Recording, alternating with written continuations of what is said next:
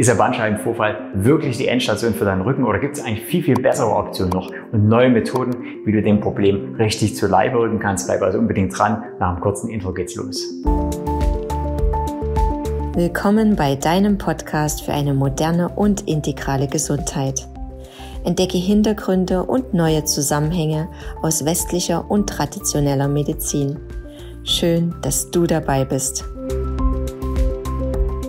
Ich freue mich total, dass du heute dabei bist. Thema Bandscheibenvorfall, also ein ganz, ganz großes, weil viele Leute betroffen, volkswirtschaftlich macht es Riesenschäden und du kennst mit Sicherheit jemanden oder hast vielleicht selber gerade das Problem und suchst nach einer Lösung oder möchtest vielleicht auch das Video weiterleiten, um jemandem so eine Idee zu liefern, was kannst du da noch machen, wenn du gerade von diesen akuten Rückenschmerzen und möglicherweise eben diesem Bandscheibenvorfall betroffen bist. Und ich hoffe, du verstehst mich heute gut. Ich habe selber eine Zahn-OP hinter mir. Ich habe mir vor zwei Tagen einen wurzelbehandelten Zahn da entfernen lassen und ein Implantat einsetzen. Deswegen kann es sein, dass ich hin und wieder so ein Stück nuschel, versuche aber das Thema trotzdem schön deutlich und klar rüberzubringen. Und das Video gliedert sich dazu in vier Teile. Wir gucken als erstes anatomische Faktoren an. Also wie ist das ganze System aufgebaut? Was müsste da eigentlich im Normalfall so funktionieren? Dann gucken wir in die Pathologie. Also was ist krankhaft? Wenn was kaputt geht, was sind da genau für Mechanismen? Was ist wirklich belegbar? Und was hält da nicht so richtig stand? Und das ist auch der dritte Part, wo wir so ein paar Dogmen beleuchten. Was hält sich da also immer noch beharrlich so als scheinbare Auslöser und Ursache für Bandscheibenvorfälle, um dann im vierten Teil in die Therapie zu gehen. Also was hast du für Möglichkeiten zu Hause und für für echte Chancen, deinen Bandscheibenvorfall wirklich richtig gut und dauerhaft in den Griff zu bekommen. Schauen wir uns also gleich mal eine Anatomie an, was uns dort erwartet. Und ich habe dir hier schon mal die Lendenwirbelsäule eingezeichnet und du hast fünf Lendenwirbelkörper. Die sind der Reihe nach durchnummeriert. Also es beginnt hier oben mit L1, L2, L3, L4, L5. Unten hast du den Sakralbereich, da hatte man die Abkürzung S für sakral, also S1 bis S5 auch fünf Wirbelkörper. Und oben drüber hast du die Brustwirbelsäule, die aus zwölf Wirbelkörpern besteht, also TH1 bis TH12. Und jeweils zwischen diesen Wirbelkörpern hast du einen Nerven eingezeichnet, der wieder eine Bezeichnung trägt. Der kann dann auch Nervenwurzel L4 oder L5 beschrieben sein. Jetzt musst du aber wieder genau gucken, wo zählt das hin? Also Nervenwurzel L4 wäre also genau die Wurzel zwischen deinem vierten und deinem fünften Wirbelkörper. Nervenwurzel L5 wäre zwischen L5 und S1, also immer unterhalb des Wirbelkörpers, liegt die entsprechende Nervenwurzel. Zwischen diesen einzelnen Wirbelkörpern hast du jetzt die Bandscheibe. Und die sind ja immer so anders zur Sorge oder zu, um unseren Fokus dahin zu bekommen. Weil wenn die rausrutschen, ist immer dieses große Tovabo und dann quetschen die irgendwas ein und die Beine werden taub. Also das ist immer so das, was wir gängigerweise hören. Und das basiert rein auf einem mechanischen Verständnismodell. Müssen wir erstmal schauen, ist die Mechanik überhaupt noch so greifbar? Bestätigt sich das so in, in Beispielen? Und dann nehme ich gerne Studien aus dem skandinavischen Raum, wo man also Leute mit Bandscheibenvorfällen äh, überprüft hat. Die kamen also mit einem starken Schmerzgeschehen in die Klinik. Man hat die ins MRT geschoben, hat gesehen, ja, du hast einen riesen Bandscheibenvorfall hat die vier bis sechs Wochen konservativ, also ohne OP behandelt. Nach vier bis sechs Wochen waren die dann nahezu beschwerdefrei oder sehr beschwerdearm und hat die allerdings dann nochmal ins NRT geschoben. Und da ist eine große Überraschung aufgetreten. Man hat also bei vielen Patienten gesehen, dass die Bandscheibenvorfälle selbst nach, diesen, nach dieser langen Zeit und der Schmerzverringerung größer geworden sind. Das bedeutet also, wir können nicht pauschal sagen, großer Bandscheibenvorfall ist gleich viel Schmerz, kleiner Bandscheibenvorfall wenig Schmerz, sondern es ist wieder eine ganz individuelle Verteilung, wie du das wahrnehmen kannst. Und deswegen ist also erstmal nur der Fakt, dass du einen Bandscheibenvorfall hast, nicht das große Drama, sondern wir müssen wieder gucken, was macht es funktionell mit dir und in welchen Bereichen spielt der eine Rolle. Und daraus schlussfolgert sich dann auch, was das Lösungsmodell für dich sein kann. Also ganz, ganz wichtiger Punkt. Mach bitte also nicht davon abhängig, dass du jetzt einen Bandscheibenvorfall hast, dass automatisch dein Rücken jetzt im Argen ist. Das kann ganz anders laufen. Und deswegen schauen wir uns jetzt mal im Detail an, wie sich das hier drin gestaltet. Du hast also üblicherweise die Bandscheibe an sich. Außen ringsherum, das Grüne hier ist dieser Faserknorpel, der den sogenannten Nukleus, also diesen Kern, diesen Gallertskern da drin, äh, in schachelt und schön halt diese Mobilitäten nach seitwärts und nach vorn ermöglicht. Und jetzt wird ja immer diese Story erzählt von, wenn du dich jetzt ungünstig bückst nach vorn, dann kann die Bandscheibe nach hinten rausrutschen. Und weil du das und das falsch gemacht hast, deswegen hast du jetzt das Rückenproblem. Und die ganzen Rückenschulen erzählen da denselben Schmus, ist aber totaler Pfeffer, weil unsere Bandscheibe funktioniert nicht wie ein Burger. Also wenn du das jetzt mal typisch mit äh, so zwei Buns vergleichst, die du hast, in der Mitte ist der Patty und schön Tomate drauf, also hast du einen Burger und beißt da rein, dann ist es natürlich typischerweise so, du beißt und dann schnippst dir nach vorn die Tomate raus. Bei der Bandscheibe ist es genau andersrum. Dadurch, dass du diesen Faserknobel hier ringsrum hast, ist die Problematik eher an der komprimierten Stelle. Hier hinten ist der Faserknobel straff, da hält er einfach nur gut gegen, aber der reißt da nicht auseinander oder sowas, sondern hier vorne, wo das Bandscheibengewebe gedrückt wird, da ist eher das Problem. Also würde beim Beugen deine Bandscheibe eher nach vorne in den Bauchraum schießen, was die auch hin und wieder machen kann, was aber nichts groß tut, weil da ist eben keine neurologische Irritation. Also insofern diese ganzen Themen von, du hast irgendwas falsch gemacht, dich falsch bewegt, dich falsch gebückt, falsch gehoben, zu schwer gehoben, das können wir erstmal so vom Tisch nehmen. Das funktioniert so klassisch nicht.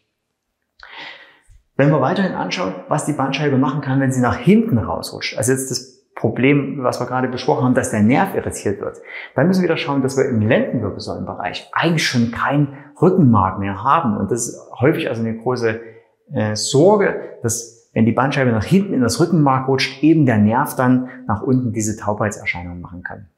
Und warum haben wir jetzt keinen Rückenmark mehr? Das hängt wachstumstechnisch zusammen. Also wir haben im Kindesalter natürlich einen viel, viel kürzeren Rücken. Dort ist jetzt das gesamte Rückenmark drin, was dann auch bis zur Lendenwirbelsäule runter reicht. Aber wenn wir jetzt wachsen, kann das äh, das Rückenmark nicht so schnell mitwachsen. Es hat einfach, schafft das zeittechnisch nicht so schnell Gewebe zu bilden wie der Knochen. In demzufolge zieht sich das Rückenmark systematisch nach oben raus und es müssen nach unten Einzelnerven praktisch aussprossen und die sehen dann aus wie viele kleine Fäden, die nach unten laufen. Also man bezeichnet das auch als Pferdeschweif oder als Cauda equina auf Lateinisch. Also es gibt gar keinen Rückenmark mehr, sondern nur noch lauter einzelne Nervenverlängerungen, die dann hier automatisch auch mit den Spinalnerv zur Seite weggehen und sich dann weiter in die Beine verteilen. Das bedeutet also, wenn der Bandscheibenvorfall zentral in deinen Rückenmark geht und es handelt sich um Bandscheibenvorfall, der im Lendenwirbelsäulenbereich stattfindet, hast du eigentlich weniger Komprimierungsproblem, weil eben, stell dir jetzt vor, du hast so einen Besen oder eben so einen Pferdeschweif und schiebst jetzt irgendwo da rein, dann legen sich die Fasern einfach um diesen Vorfall drumherum, aber werden dort nicht komprimiert. Also erstmal mechanisch gesehen weniger ein Thema. Jetzt könntest du aber sagen, na gut, aber wenn das seitlich in diese Spinalnerven reinrutscht, dann wird ja der Spinalnerv irritiert und kann dann wieder Ausfallerscheinungen machen. Ja, kann es prinzipiell. Allerdings sind die Größenverhältnisse, wie ich sie eingeteilt habe, schon fast stimmig. Also der Spinalnerv hat fünfmal so viel Platz, wie er eigentlich bräuchte. Also das Loch ist fünfmal größer, als der Spinalnervraum braucht. Also auch da hast du genügend Pufferzone, falls die Bandscheibe da reinläuft, dass da nicht sofort alles Knall und Fall ist. Wir müssen also wieder von dem mechanischen Weltbild weggehen. Und das ist ja auch das, was ich schon in den anderen äh, Videos immer wieder anrege. Wir können es zunehmend nicht mehr mechanisch argumentieren, dass wir Probleme bekommen. Also diese ganze Hardware-Argumentation, die wir in den letzten Jahrzehnten in unserem Medizinbereich äh, erlebt haben, die wird systematisch aussortiert und aktuelle Wissenschaft geht immer mehr dazu, dass wir es eher mit Softwareproblemen zu tun haben. Und was wäre hier das Softwareproblem? Das wäre, dass wir zum Beispiel Entzündungsmarker haben. Also dass Botenstoffe, die beim Austreten dieses Nukleus, also dieses Gannert-Kerns auftreten, dass die Entzündung um den Nerv machen und deswegen dort zu einer Reizung führen. Also gar nicht der mechanische Druck, sondern nur der chemische Botenstoff. Und dann müssen wir natürlich jetzt auch im therapeutischen Sinn die Frage stellen, wie können wir denn das am besten wegbekommen? Äh, wie können wir dort selber auch agieren, um schnell diese Chemie in den Griff zu bekommen? Und da kann man im letzten, also im vierten Teil drauf zurück, wenn es eben um die Lösung, um therapeutische Ansätze geht. Diese Tatsache, dass es jetzt dort ein chemisches Problem gibt, heißt natürlich auch, dass diese ganze Fantasie, die da manchmal geäußert wird. Ich habe gespürt, dass die Bandscheibe nach hinten rausgerutscht ist und habe die dann mit so leichten kreisenden Bewegungen wieder zurückmassiert, dass das eher aus einer Fantasieregion kommt, was nicht machbar ist. Also eine Bandscheibe, die einmal da rausrutscht, die kommt nicht einfach wieder zurück. Also alles, was ausgetreten ist, bleibt da auch so. Und vielleicht magst du auch aufhören, dir dort selber Vorwürfe zu machen, weil du kannst es nicht verhindern, wenn es passiert, passiert. Also ob du auf Toilette gehst, ob du schwer hebst, ob du irgendwo anderweitig presst, wenn die Bandscheibe raus will, kommt sie raus. Und wir haben aktuell wissenschaftlich noch keine Erklärung, warum sie das macht. Auch das finde ich total spannend. Man hat sich also die Mühe gemacht, Wirbelkörper von Menschen, also Verstorbenen, rauszupräparieren, mit der Bandscheibe drin, hat die unter Druck gesetzt, um erstmal zu argumentieren, wie geht denn das jetzt kaputt? Was ist denn der genaue Mechanismus? Und alles, was man erreicht war, hat war, dass man die Wirbelkörper frakturiert hat, also zerbrochen hat, aber die Bandscheibe ist jeweils ganz geblieben. Da kam die Vermutung, okay, vielleicht hat die Bandscheibe einfach Dauerschädigung schon bekommen, vielleicht müssen wir die vorschädigen und dann reicht es zum Trauma. Man hat also von innen die Bandscheibe angelasert, dort Mikrotraumen reingesetzt, hat die Bandscheiben oder die Wirbelkörper wieder unter Druck gegeben. Was ist passiert? Wieder, Wirbelkörper ist gebrochen, die Bandscheiben sind ganz geblieben. Also es gibt aktuell noch kein sauberes Erklärungsmodell, warum Bandscheibe jetzt wirklich kaputt geht und nutzt es vielleicht auch für dich, um dir da den Stress rauszunehmen. Du kannst also nichts dafür wo wir stattdessen jetzt am ehesten ansetzen können. Da sind wir beim vierten Punkt, nämlich der Therapie und deiner Chance, wie du dort in Heilung bekommst. Deswegen schön, dass du dran geblieben bist, ist, dass wir hier so eine Art Pumpbewegung machen. Wir müssen also die, den Stoffwechsel anregen und versuchen, dieses alte lymphatische Gewebe, auch dieses Bandscheibengewebe an sich, möglichst schnell zu verstoffwechseln, also in Aktivität zu bringen. Das gelingt am besten, wenn wir in Bewegung bleiben. Und hier ist mal die Darstellung der Wirbelsäule von hinten. Also wir haben jetzt einfach die Wirbelsäule so ein Stück gedreht. Du guckst auf den Rücken drauf. Das ist wieder das Kreuzbein hier unten. Und ich habe jetzt mal exemplarisch hier den Spinalnerven angezeigt, der zum Beispiel Probleme machen kann. Also L4, L5 wäre das in dem Fall. Und alles, was du tun musst, ist, dass du dort in so eine Wackelbewegung gehst, also dein Becken absinken lässt und damit diese Aufklappbewegung machst. Also wie wir das hier schon hatten zwischen diesen zwei Boxen, kommt es einfach immer wieder zu diesem Klappen.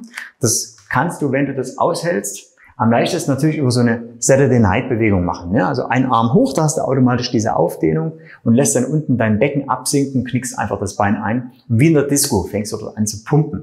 Machst das bitte ruhig, also so mit ein bis anderthalb Bewegungen pro Sekunde. Also das, der Saturday Night Rhythmus passt schon ziemlich gut.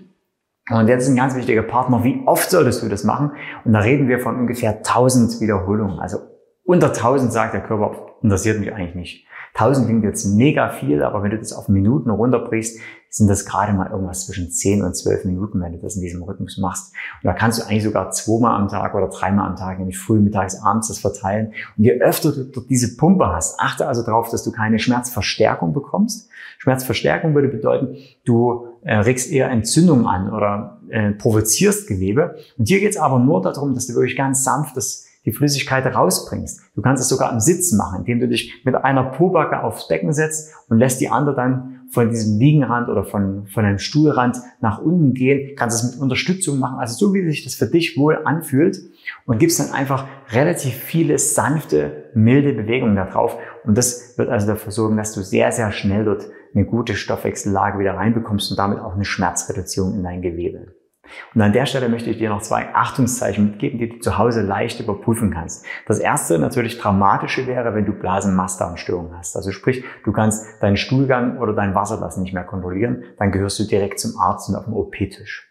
Die zweite Maßnahme, die nicht ganz so heftig ist, aber wie du für dich zu Hause rausfiltern kannst, ist es wirklich ein Nerv, der betroffen ist oder nicht, ist ein Verlängerungstest oder Slump-Test äh, genannt.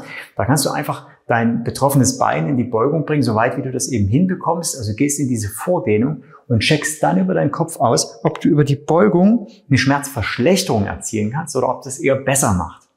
Wenn du wirklich ein Nervenproblem hast, wird diese Beugung, also dieses Kopf nach vorn bringen, ein dramatisches Reinziehen und Schmerzverschlechterung deines Problems bewirken. Viele Patienten, die ich bei mir in der Praxis erlebe, haben dagegen eine Linderung, wenn die den Kopf auf die Brust nehmen. Und das spricht eher dagegen, dass der Nerv dort auf diese Länge reagiert und würde eher die These von Muskelproblemen stützen.